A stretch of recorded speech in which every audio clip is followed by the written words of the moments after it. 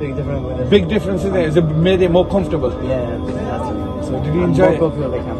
And inshallah, next year we're building three floors there, inshallah. Oh, yeah. So hopefully it'll get even more comfortable, inshallah. But they said to- this year there was double the amount of people from last year. So subhanAllah, if we didn't have that area, it would have been like a big struggle, huh? We did, yes, So did you enjoy all the lighting? Looks better, doesn't it? Oh, now? With the cooling, especially here, with the big, big air coolers, huh?